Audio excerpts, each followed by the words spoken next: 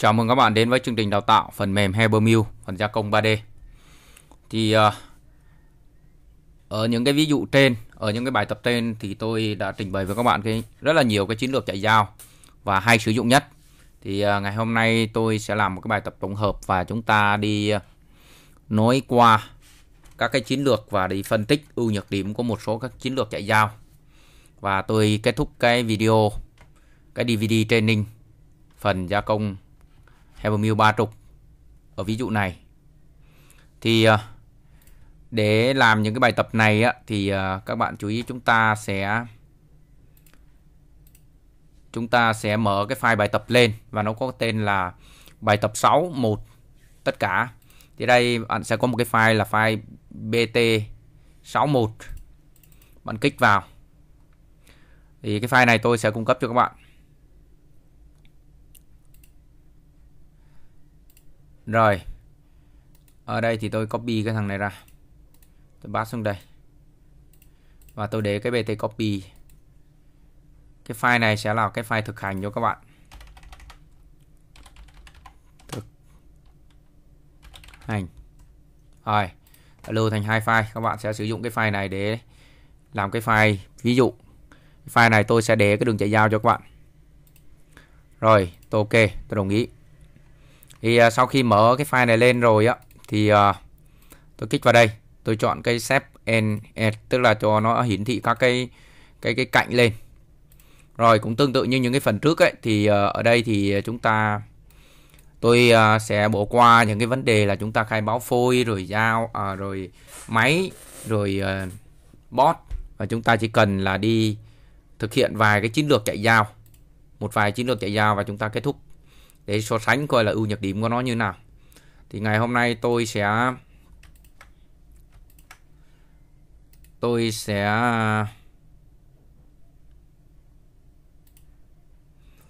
sử dụng cái bề mặt này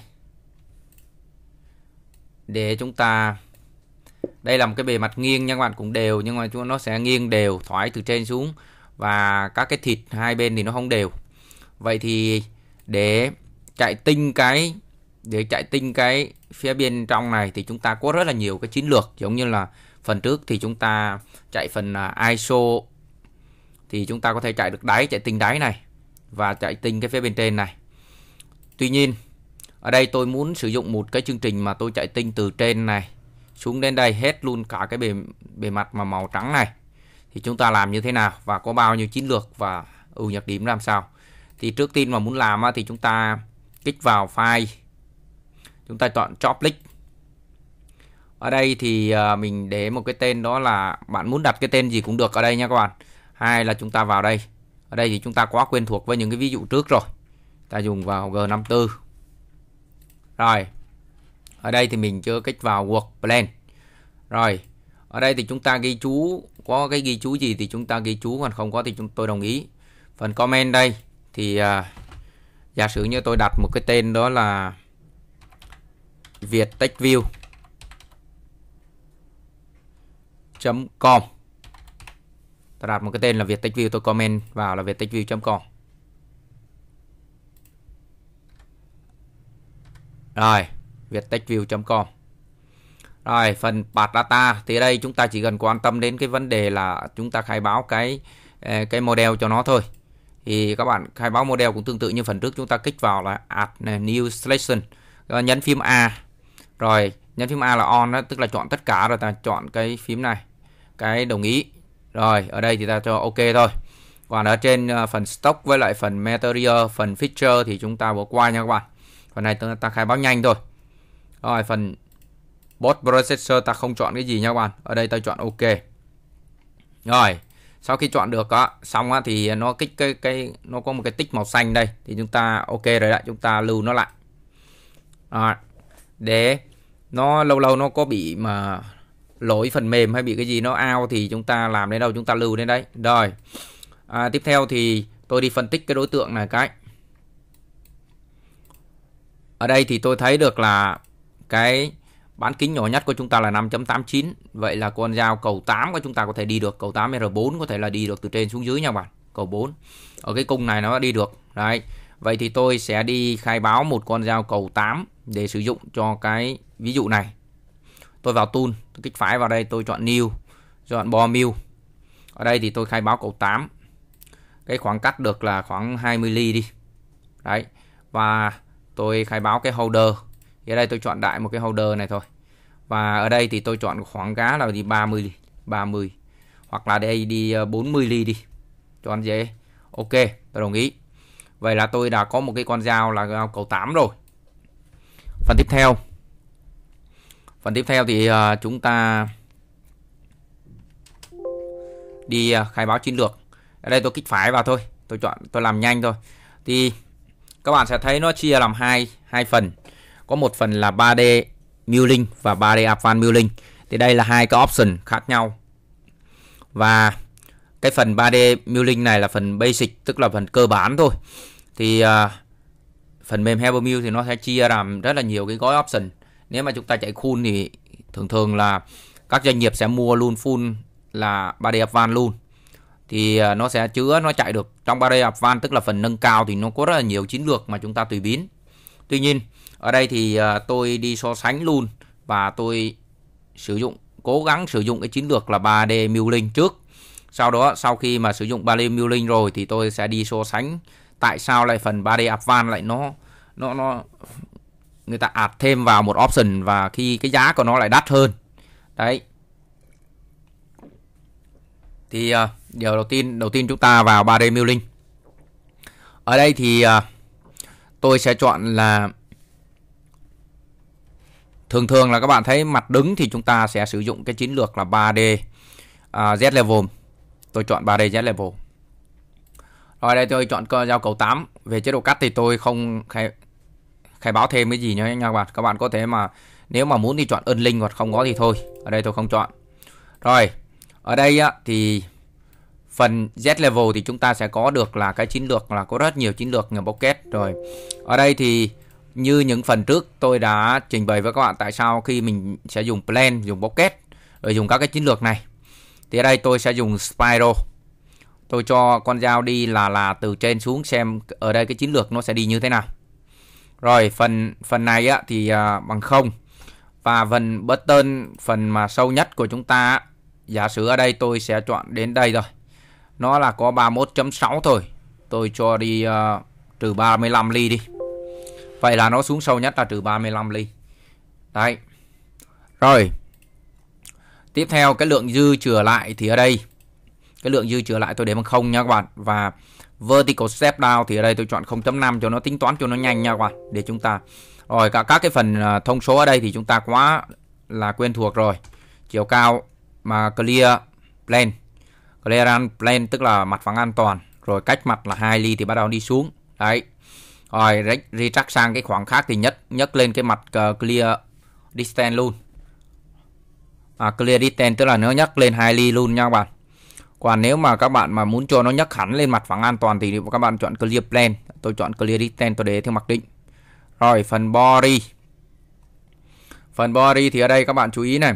Ở đây ở mục này thì chúng ta chỉ cần là chọn là bởi vì mặt nó ít thôi ta chọn là ờ, uh, milling surface.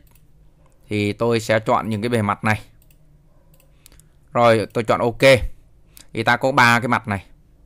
Rồi phần macro. Thì ở đây tôi chọn menu tôi chọn menu và tôi chọn à, à, uh,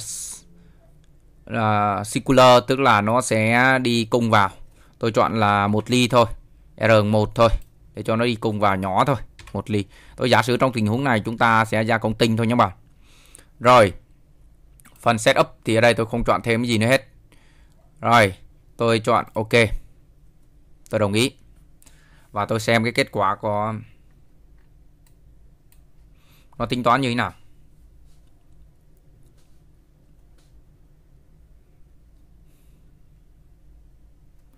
Rồi, các bạn sẽ thấy này rõ ràng là phần mềm Habermill nó vẫn tự động tính toán ra cho chúng ta chạy với cái chiến lược chạy nhau là là 3D uh, ờ, Z level finishing. Tuy nhiên ở những cái bề mặt nào mà chạy được á, thì nó sẽ chạy đều xuống bên dưới còn phía bên trên này ở cái những cái cao độ khác nhau mà bên trên này không có thịt ấy ở phần không có thịt ấy, thì nó nhấc dao lên nó vẫn đi cung vào đây vẫn chạy được nhé bạn nhưng mà mình thấy rằng là nó sẽ không tối ưu bởi vì có thể là nó sẽ sẽ sẽ chạm nhẹ vào những cái bề mặt này mà sinh ra vết. Đấy, thì đây cũng là một trong những chiến lược chúng ta có thể gia công được nha các bạn, chứ không phải là không gia công được cái chiến lược chạy dao này. Tuy nhiên, chúng ta nhìn nó không tối ưu lắm. Vậy thì trong phần 3D này thì có những cái chiến lược gì nữa? Ở đây thì tôi copy nó, tôi copy, tôi bát xuống dưới này. Rồi, ở đây thì tôi kích phải và tôi chọn reflect.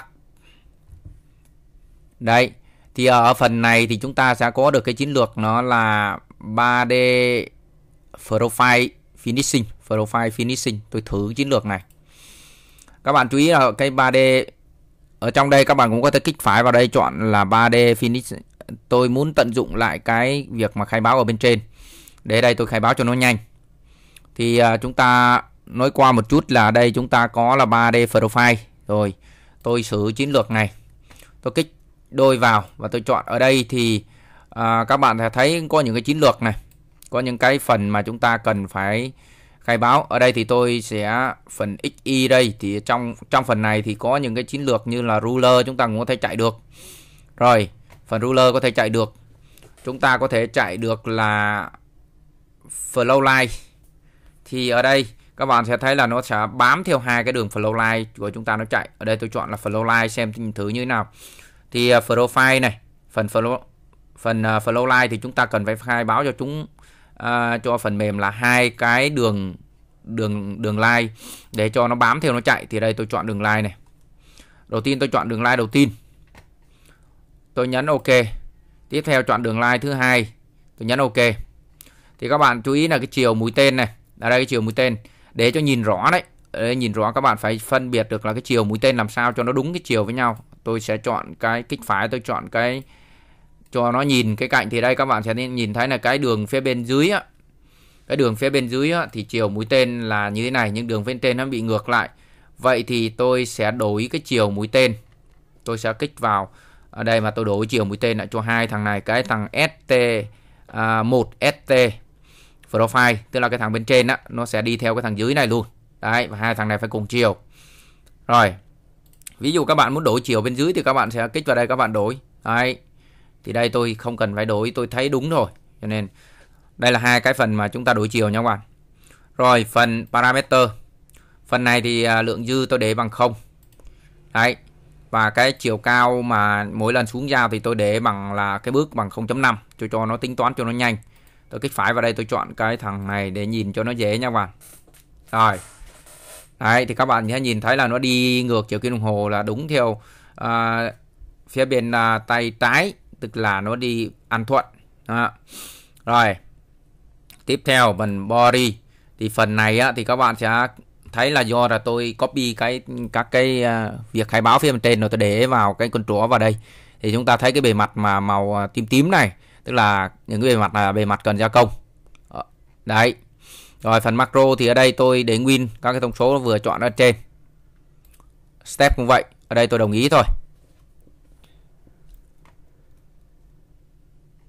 Rồi, sau khi chúng ta đồng ý thì phần mềm sẽ tính toán cho chúng ta xem cái chiến lược chúng ta vừa chạy profile thì nó như thế nào.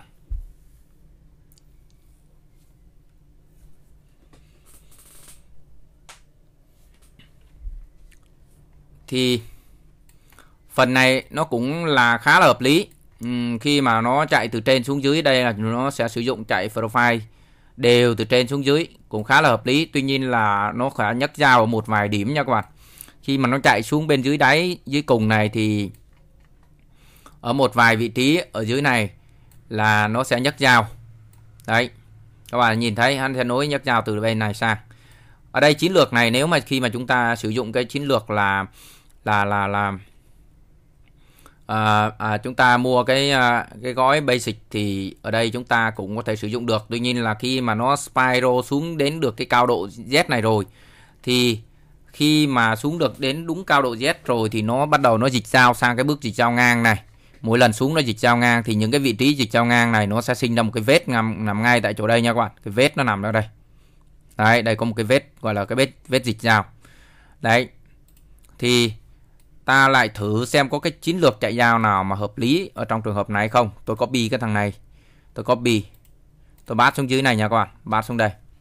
Rồi chúng ta ta kích phải vào đây ta nhìn thử cái phần 3D thì ta sẽ có được là bên trên ta chạy được là 3D um, profile rồi set level rồi.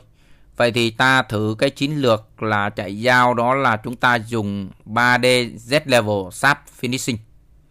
Là đây tôi kích phải và tôi chọn replug by rồi ở đây thì ta có có là 3D Z level. Đấy tôi kích vào đây. Thì với cái chiến lược chạy giao này á, thì chúng ta sẽ nhìn thấy này rõ ràng là nó sẽ cho chúng ta rất là nhiều cái lựa chọn. Đây thì đây ta sẽ có được là nó sẽ chạy được cả spiral chỗ nào chạy zigzag thì nó chạy zigzag chỗ nào chạy spiral thì nó chạy spiral tôi chọn hết luôn vào lựa chọn này. Đấy khi các bạn tắt cái thằng này thì nó không có tác dụng nha nhưng mà nó sẽ có là spiral tức là khi nào mà các cái bề mặt mà đều với nhau thì nó sẽ là chạy spiral còn phía bên trên thì nó chạy zigzag đấy. Các bạn nhìn cái hình minh họa này. Rồi phần profile thì đây tôi sẽ chọn cái bước này 0.5 để à, nó lớn lên một chút để chúng ta sẽ dễ hình dung. Rồi tính toán cho nó nhanh. Ở đây thì tôi không chọn thêm gì nữa hết phần body thì các cái bề mặt ừ, do là cái bên trên chúng ta copy xuống rồi cho nên ta để nguyên nha các bạn phần macro thì đây tôi cũng tương tự tôi chọn menu thôi. Đây tôi chọn menu. Rồi đấy. Phần step thì đây tôi không chọn thêm gì nữa tôi đồng ý thôi. Rồi tới đây thì các bạn chú ý này. À, sau khi mà chúng ta lựa chọn nó sau khi chúng ta lựa chọn nó thì ở đây các bạn sẽ lưu nó lại cái tránh cái tình trạng là khi mà nó tính toán với Habermill khi tính toán thì một số cái chương trình mà nó nặng thì nó sẽ bị ao máy, cho nên chúng ta lưu lại một chút.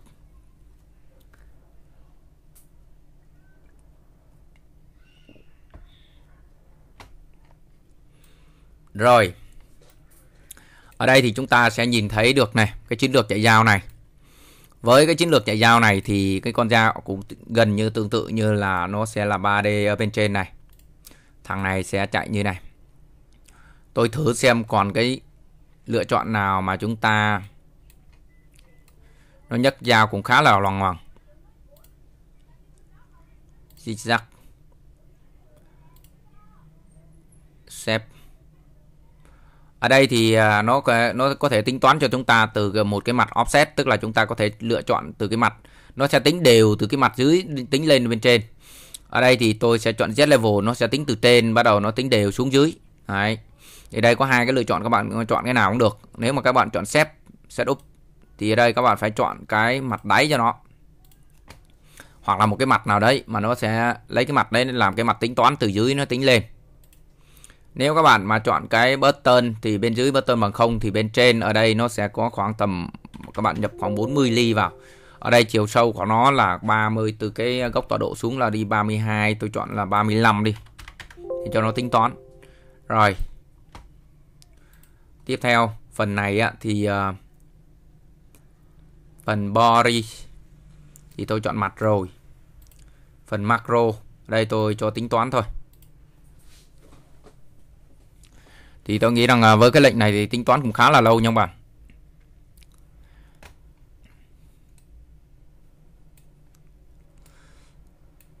Vậy thì với à, một cái bề mặt thôi nhưng mà chúng ta có rất là nhiều cái lựa chọn và sau khi chúng ta so sánh thì chúng ta sẽ thấy rằng phần tại sao lại người ta phải mua thêm cái option là 3D Fan mà người ta không sử dụng cái tính năng là basic. Đấy. Thì đây nó xảy ra một cái lỗi gì? Nếu mà lỗi thì chúng ta bấm phím M ta xem. Thì nó xảy ra cái là stop, tức là nó báo cho chúng ta cái việc là bị va chạm va chạm. Ở đây tôi chọn 40 nó chọn, nó kêu chúng ta là bị collection collision. Collision.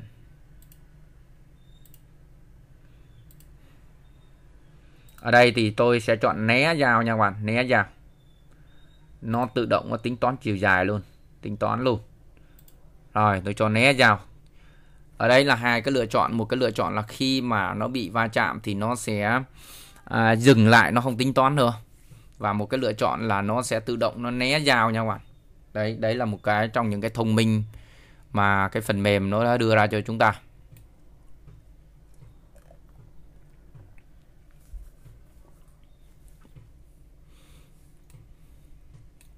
Thì tới phần này nó tính toán cho chúng ta cũng không được vậy thì ta đổi ngược lại cái chiến lược là chúng ta sử dụng cái Z level ở trên. Machine. Rồi, ta thử cái chiến lược này. Thử cho tính toán lại.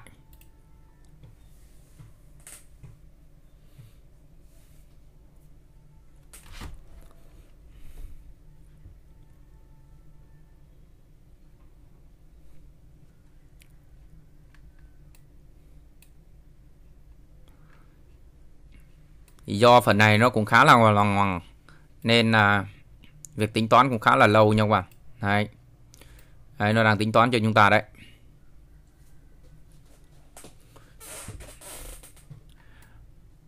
Đang tính toán từ trên xuống. Thì phần này mình check rồi cho nên là mình cũng không sợ là nó bị đá dao hoặc là như thế nào nha các bạn. Tuy nhiên thì phần này nó lòng hoàng quá. Mà nếu mà khi mà chúng ta mua cái phiên bản à, có phần nâng cao thì ta sẽ sử dụng chiến lược chạy dao nào. Rồi, sau khi chúng ta lựa chọn cái chiến lược chạy dao này rồi á, thì chúng ta thử những cái chiến lược chạy dao phần nâng cao nha các bạn. New vào 3D Advanced. Phần này thì tôi sẽ sử dụng cái chiến lược là 3D Equidistant rồi, đây tôi vẫn chọn con dao cầu 8 rồi, ở đây thì tôi chọn flow line flow. Đấy, tôi chọn flow. Ở đây thì tôi sẽ sử dụng đường bên trên.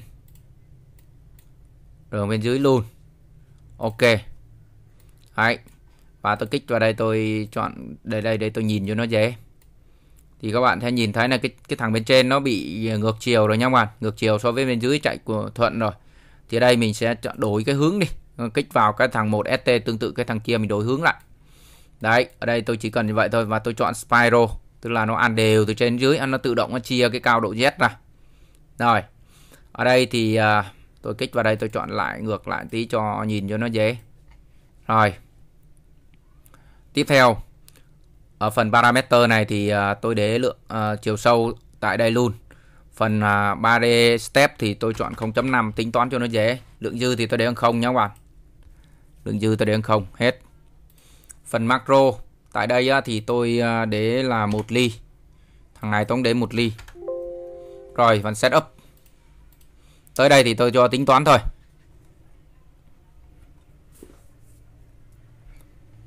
Đấy, thì các bạn sẽ nhìn thấy là với cái thằng mà đúng là người ta nói là tiền nào của nấy thì có khác. Tức là với cái chiến lược chạy dao này thì chúng ta hoàn toàn yên tâm và nếu khi ra công khuôn thì những cái bề mặt này cực kỳ đẹp, nó tự động nó chia đều cái cao độ ra và nó đi đều nha các bạn. Đây là một trong những cái chiến lược mà chúng tôi thấy rằng là rất là đẹp trong cái phần mềm Havermill này nó đưa ra. Tới đây thì tôi lưu lại rồi. Vậy thì với Habermill nó đưa ra cho chúng ta cái chiến lược là là Equidistant Finish này. Vậy thì với phần Habermill nó còn những cái chiến lược nào có thể chạy được với những cái bề mặt này không? Tôi vào 3D này. À, tôi thử sử dụng cái chiến lược là Complex Finish xem thử nha các bạn. Complex Finish. Ở đây thì tôi chọn là complex finish uh, tôi copy. Tôi bát xuống đây. Chọn by complex ở đây thì nó không cho chúng ta phần phần advanced nó không cho chúng ta thay đổi như vậy nha các bạn. Tôi chọn delete yes. Rồi ở đây tôi kích phải và tôi chọn phần advanced complex rồi, tương tự tôi chọn con dao bùn này à con dao cầu này. Rồi, phần này thì tôi chọn là tôi chỉ chọn chạy mặt thành thôi, tôi không chọn mặt đáy nha các bạn, góc 45 độ. Rồi, tiếp theo phần này là âm 35 max step down 0.5 rồi, phần body. Tôi sử dụng cái đường bao phía bên ngoài này làm cái đường giới hạn nó. Ok, tôi đồng ý. Phần macro các bạn chú ý phần macro ở đây, tôi chọn 1 0.5 1 0.5 Rồi Setup Tôi cho tính toán thôi. Tôi làm nhanh cái phần này.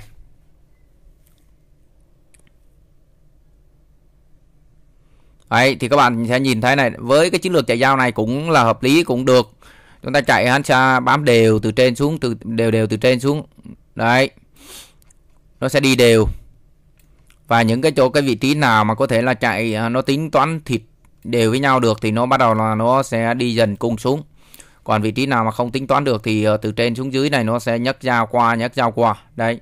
Thì đây cũng là một trong những chiến lược chúng ta có thể chạy được nha các bạn. Chạy được, chứ không phải là không chạy được những chiến lược này. Rồi. Tuy nhiên, ở đây thì chúng ta có rất là nhiều cái chiến lược mà tôi có thể là trình bày với các bạn vậy thì chúng ta dùng cái complex rồi chúng ta dùng equit rồi. Thì đây ta sử thử cái sử dụng cái chiến lược là đi cover. Tôi dùng cái cover flow flow matching rồi. Yes. Ở đây thì tôi vẫn chọn con bò mil 8 con bò mil 8 rồi phần này á, thì tôi sẽ sử dụng cái hai cái đường cơ. Đường cơ đầu tiên đường cơ đầu tiên này. Ok. Rồi, đường cơ thứ hai. Ok. Các bạn chú ý là cái chiều mũi tên nha các bạn, chiều mũi tên. Thì ở đây, tôi sẽ, tôi lại kích vào đây, tôi chọn cái view này. Tôi chọn nhìn kiểu như này thì chúng ta sẽ nhìn thấy là cái chiều thằng trên với thằng dưới là bị ngược nhau rồi.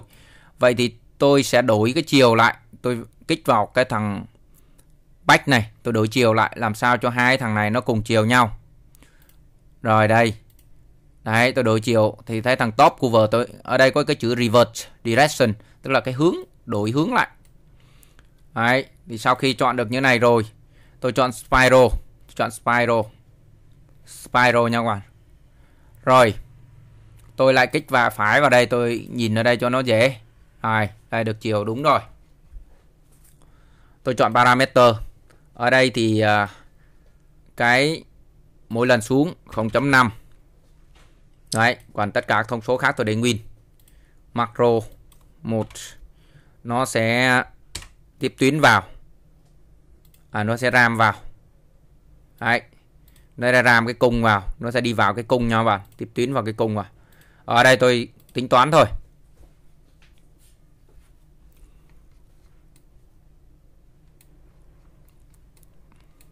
Đấy, thì cái phần này cũng rất là đẹp nha các bạn. Với chiến lược chạy dao này chúng ta hoàn toàn có thể chạy dao được cái với chiến lược chạy dao này. À, chúng ta dùng cái 3D cover flow Matching này. Ở đây tôi bấm file new lại. Tôi lưu lại cái. Thì với chiến lược chạy dao này thì chúng ta hoàn toàn có thể sử dụng được. Vậy thì với cái chiến lược là 3D Equick này, tôi giả sử tôi copy cái thằng này. Tôi bát xuống dưới này và với chiến lược cái thứ bảy này, thì tôi khai báo lại cái cái lượng dư của chúng ta ở đây. Tôi chọn 0.2 cái lượng dư 0.2 bước 0.5 lượng dư 0.2 rồi tôi cho tính toán thôi. Tôi cho tính toán lại cái, rồi, giả sử cái bề mặt này tôi đang để lại lượng dư là 0.2 trên cái bề mặt này, hoặc là tất cả các bề mặt khác. Vậy thì ở đây tôi giới thiệu với các bạn một cái chiến lược mà chúng ta có thể là chạy tinh lại cái thằng này luôn ở đây thì tôi kích phải vào. Tôi sử dụng cái thằng 3D Advanced này. Tôi chọn cái thằng là 3D Cover Flowline à, à 3D Rework Machine. Tức là tôi sẽ cho chạy tinh lại của cái bước số 7 này. Ok. Yes. Tôi sử dụng hết các cái tính năng thông số parameter của cái thằng số 7 này nhưng mà tôi sử dụng có thể tôi đổi một con dao khác nha các bạn. Có thể tôi đổi một con dao khác nhưng ở đây tôi sử dụng con dao số 8 này luôn. Có thể các bạn có thể đổi một con dao khác cũng được. Rồi đây thì tôi chỉ cần khai báo lại lượng dư bằng không thôi. Đó. Các bạn có thể đổi cái con dao khác nha, nha các bạn. Rồi body. Phần body này thì tôi sẽ chọn cái đường pin phía ngoài này. Đấy làm đường giới hạn nó giới hạn con dao lại. Rồi macro 1 để nguyên. Nó copy của cái cái cái thằng bên trên rồi, ở đây tôi tính toán. Thì các bạn thấy là khi mà nó tính toán cũng tương tự như là cái lệnh là chúng ta sử dụng à, cái phần gia công thô á, thì sử dụng cái phôi của thằng trước thì cái thằng này sẽ được đỏ đi. Đấy. Thì phần rework hắn cũng tương tự giống như là cái việc mà chúng ta chạy tinh. ở đây thì tôi chọn file tôi tôi lưu nó lại. Rồi, vậy thì tổng kết 8 cái chiến lược chạy dao này. thì cái thằng số 8 này sẽ là cái thằng chạy tinh vét của cái thằng một cái bước nào đó mà chúng ta đem ra, chúng ta cho nó tính toán. Với Habermill thì cái chiến lược số 7 này equidistant này rất là đẹp và nó đáng đồng tiền bắt bắt gạo nha các bạn. Bởi vì đây là cái phần nâng cao, phần advance trong cái những công ty chạy khuôn thì người ta sẽ thường thường là mua hết full option phần này và sử dụng những cái tính năng này thì rất là đẹp. Rồi các bạn có thể sử dụng cái 3D cut flow. Thì anh cũng tương tự như là phần e- equity stand. Đấy gần như giống nhau. Rồi phần complex này chúng ta cũng có thể chạy được nhưng mà với những cái bề mặt khác những cái bề mặt này thì chạy cũng được nhưng mà nó sẽ không tối ưu nha các bạn. Rồi liên quan đến cái phần mà phần basic thôi tức là nếu mà công ty ít tiền thì chúng ta cũng có thể cố và sử dụng được những cái chiến lược này. Thì uh, ở đây thì chúng ta có thể sử dụng được những chiến lược này chạy được nha các bạn chứ không phải là không chạy được. Đấy. Thì đây với cái bề mặt này thì tôi thấy rằng là sử dụng cái chiến lược này cũng được profile này cũng được nha các bạn. À, hoặc là phần Z level này thì mình khống chế lại một chút nữa phần Z level. Đấy thì có thể chạy được. Tuy nhiên ở cái phần nâng cao và tốt nhất đó là cái chiến lược chạy dao là equity. Equity distance phần này thì khá là đẹp chỉ cần có đường xuống giao và đường ra, ra giao thôi. Còn lại là nó đi spiral xuống và được chắc chắn là cái bề mặt cực đẹp rồi. Rồi đây là một trong những cái mà phần mà tôi so sánh 8 cái chiến lược chạy giao trong phần mềm Habermill và đưa ra những cái tùy chọn. Tuy nhiên những cái bề mặt có thể những cái bề mặt này thì chúng ta dùng ISO thôi là chúng ta chạy được những bề mặt đẹp rồi. Tương tự như những cái ví dụ mà tôi đã trình bày với các bạn ở những cái bài tập trước đây đấy, thì à, với cái bài tập tổng hợp này tôi đưa ra một vài cái lựa chọn so sánh để các bạn biết rằng là khi mà chúng ta đem vào lập trình gia công thì có rất là nhiều cái cái cái cái lựa chọn. Và chỉ cần những cái kinh nghiệm thôi, chúng ta sử dụng vài lần thì chúng ta biết những cái bề mặt nào có thể sử dụng cái chiến lược chạy dao nào là đẹp nhất. Rồi, tôi dừng cái video tại đây cũng như là cái DVD tại đây. Và tôi cũng mong muốn rằng là với những cái hiểu biết của tôi chia sẻ thì mang đến cho các bạn một cách nhìn khác và giúp ích cho các bạn trong cuộc sống trong công việc. À, nếu mà các cái video cũng như là các cái DVD này của tôi nó mang lại cái hữu ích cho các bạn à, và các bạn thấy hay thì có thể là giới thiệu đến bạn bè đồng nghiệp để à, chúng ta có được cái bộ DVD này trong tay. Và và và cái bộ DVD này là độ là là bộ DVD gốc chứ không phải là chúng ta chia sẻ. Ờ, làm như vậy thì ờ, chắc chắn rằng là có những cái cái công việc mà chúng tôi ngồi để biên soạn hoặc là nghiên cứu để làm ra những cái video này cho các bạn thì nó sẽ không còn nữa. Rồi, thân chào và hẹn gặp lại các bạn và chúc các bạn thành công trong cuộc sống cũng như là trong công việc và thật là nhiều sức khỏe trong cái đợt mà Covid này.